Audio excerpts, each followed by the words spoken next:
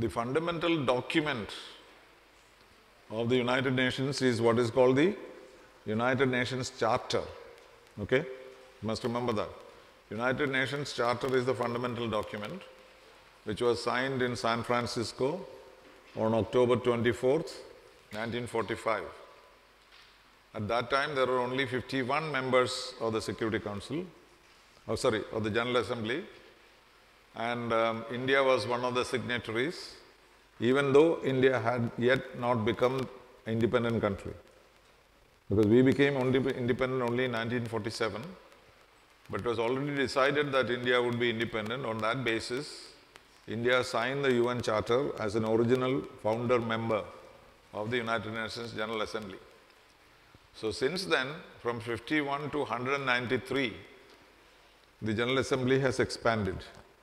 Okay?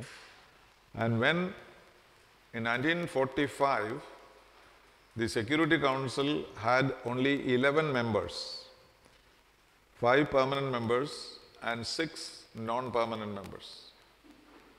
So the idea was that if you have 51 members, you must have 11 members in the Security Council.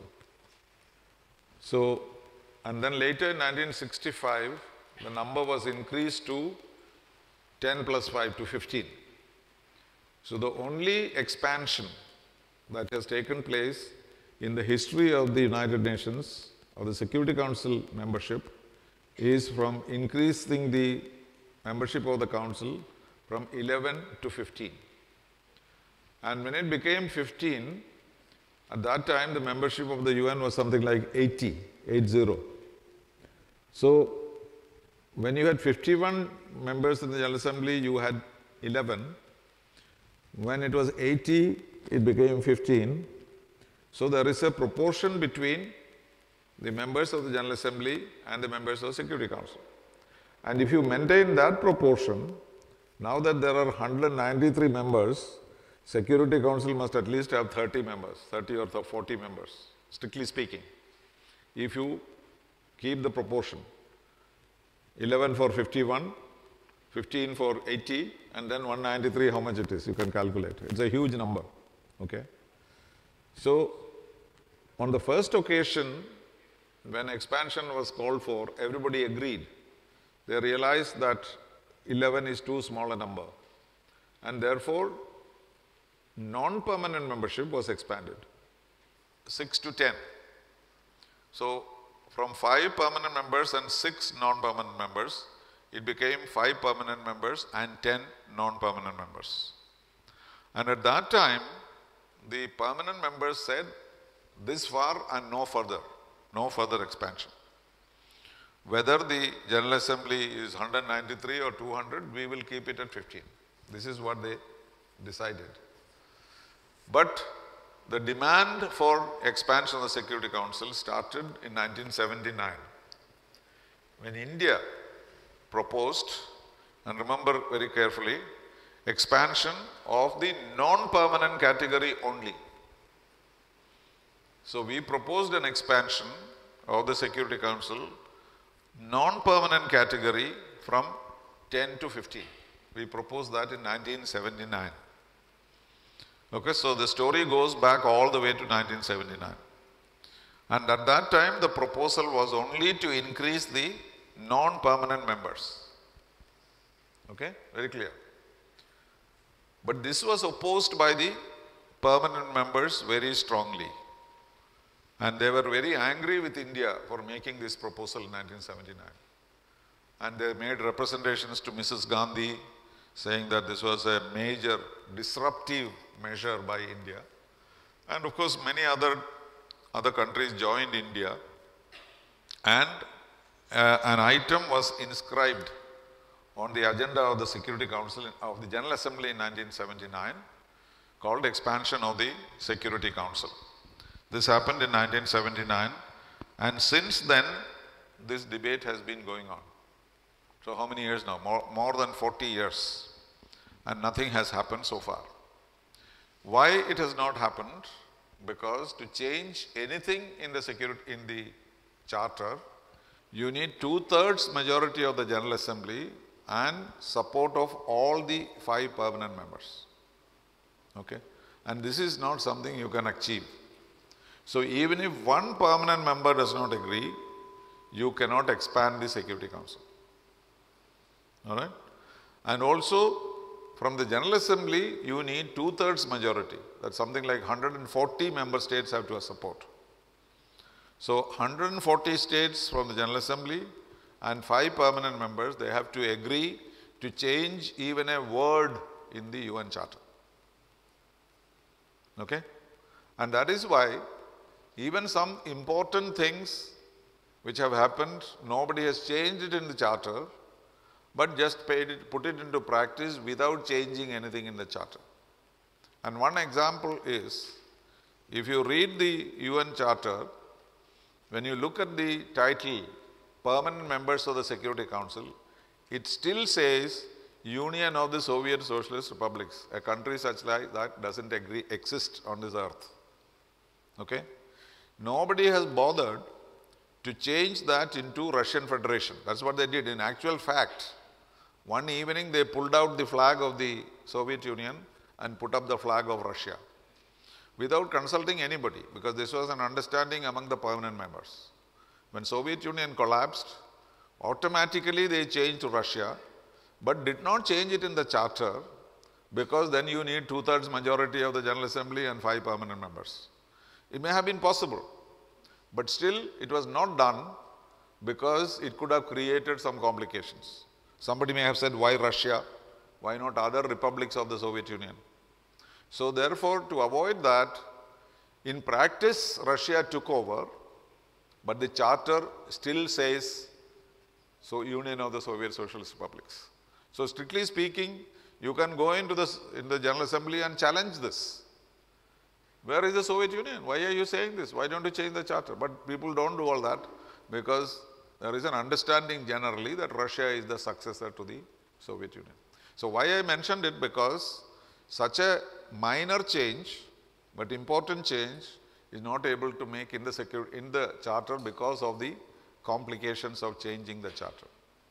Another strange thing about the charter is there is a clause called the enemy clause in the charter. Okay? It is known as the enemy clause. What does it say? It says that those countries which lost the Second World War, and who are those? Very major countries of the world today, Japan, Germany, Italy, they say these people are the enemies of the United Nations, it says. And therefore, they do not get any of the protection that the charter gives to other member states. How, what a peculiar thing. So, in other words, though the countries are not mentioned, but they have said that those who lost the Second World War, they are declared them persona non grata. These people have no protection from the charter. And this has not been changed till today. But Germany and Japan are the second and third biggest contributors of the UN, very important in, globally, but that is not reflected. But everybody knows that nobody will use this clause. So literally, if you declare war against Japan tomorrow, the UN cannot object because Japan is an enemy country. But even Japan doesn't raise this issue because they know very well that such a thing will not happen. So why I am saying is, so changing anything in the charter is very sacrosanct. And after 1965, nobody has touched the subject of expansion of the Security Council. So there is no intention on the part of the permanent members to change this, this situation. Then after the, after the end of the Cold War, in 79, we asked for five extra non-permanent members. But at the end of the Cold War, people started saying that some of the countries which were developing countries before have become so important that we should also add five more permanent members to the Security Council. Of course, the permanent members were against expansion if non-permanent membership, but they were even more against permanent members, more permanent members. But why? Because permanent members means automatically veto. They said, we will not give up the veto, but we will not give the veto to anybody else. So, now the proposal before the Security Council, before the General Assembly is that we expand the Security Council membership from 15 to 25. This is the demand. Why, How? By 5 permanent members and 5 non-permanent members. Which means there will be 10 permanent members and 15 non-permanent members. This is what the developing countries want. Okay, is it clear? Any doubts? So, the demand of the mostly the developing countries or generally the demand is there should be expansion number one and what is that expansion should be? It should be 25. Okay. So, there are so many proposals starting from no change to 25. In between, there are all kinds of figures. Some people say, okay, only three permanent members, three non-permanent members, so let us make it 20. Some people say 21, some people say 23, 24, all kinds of numbers are being floated about. But all these proposals, none of them enjoys the majority, two-thirds majority of the General Assembly and five permanent members. There are hundreds of proposals, but no proposal enjoys the support that you need to change the charter. This is the situation. Okay. So what has happened between? Four countries joined together, India, Brazil, Japan and Germany. And they wanted somebody from Africa, so from Asia, Japan and India, from Latin America, Brazil, and from Europe, Germany, four countries, and one country from Africa, either Egypt or South Africa or Nigeria, one of the three. So, the idea was that these five countries are campaigning to become permanent members. And since Africa is not represented, it is only called the group of four. It is called G4. So if you are asked what is the G4 in the UN, it means India, Brazil, Germany and Japan who consider themselves fit to be permanent members. Nobody else is telling you that. Okay? They say we are the largest, all those arguments I will come to later. But these four permanent four members of the UN are considered to be the prime candidates. But there is no chance of any one of them getting it unless there is an overall agreement which everybody subscribes to. So my theory is that no expansion will take place in a hurry. Government of India propagates this. Oh, we are likely to get it tomorrow, day after tomorrow, etc. Mr. Modi keeps saying it is our right. Earlier we used to say we are eligible. Now Mr. Modi says we have the right to be permanent. Well, he can change his words, but nobody else is listening to them. So, why, are you applauding that?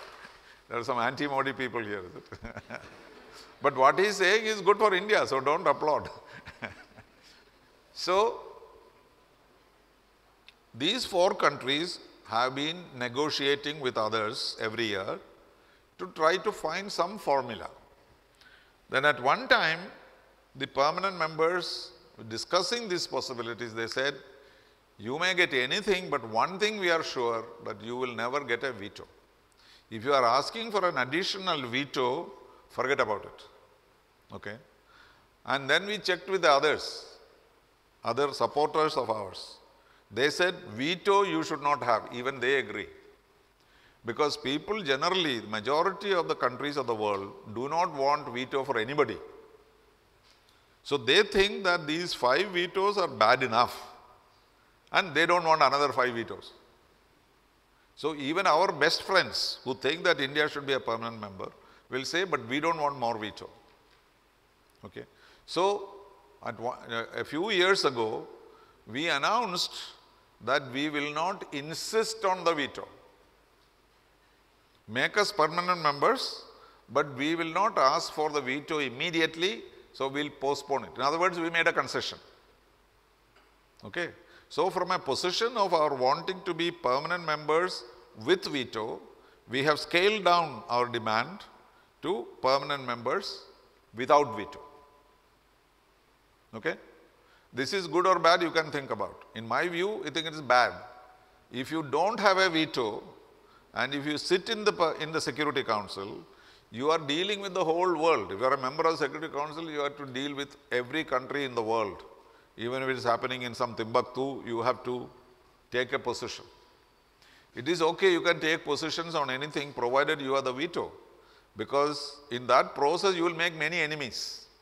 Suppose there is a fight between two countries and we take the side of one of them. So you create one enemy then and there. Like that, you will have enemies in different parts of the world. If you don't have a veto, if you make so many enemies as a permanent member, when Kashmir comes up against you, they will create trouble for you and you won't be able to veto it. Right? So, in my view, permanent membership without veto is dangerous. But that is not the view of the government of India. Government of India has said we will accept permanent membership without veto. That concession we have made. And the offer from the other side does not extend to that. They say no five countries. They say it is too big already, 15 is too big. So let us add one or two. American position is, so whoever speaks on the basis for the for America has to say that this is too big already. So the maximum that we can accept is one or two. They don't say how many and who. Okay. That is one argument that they use. The first let, us, let me give you the arguments for expansion. Why should it be expanded? Question, the point number one is the proportion as I mentioned. The proportion between the General Assembly and the Security Council has to be maintained. So there is enough justification that now we have 193 members, we can have 25. This is our argument. So 11 when the, when the General Assembly was only 50, 15 when General Assembly was 80, and now that we are 193, we can easily have 25. That is our argument number one. Number two, the world has changed since 1945. Today's world is not the world of 1945. What is the peculiarity of the world in 1945? There were the winners of the war. And they are the ones who made the United Nations. The allies, that is, the permanent veto wielding countries, except China, China was also part of the alliance. So these were the five countries who won the war. And they gave to themselves permanent membership and veto. Nobody challenged it. And when any country joined the charter and signed the charter, they accepted the superiority of these five countries.